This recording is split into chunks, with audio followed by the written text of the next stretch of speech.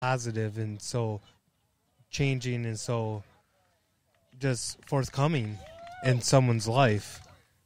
Take something so negative and change it into something so positive and come out ahead and just realize that just because we did something wrong and accepting what we did wrong and our punishment and moving on with it and just realizing it's not the end of the world.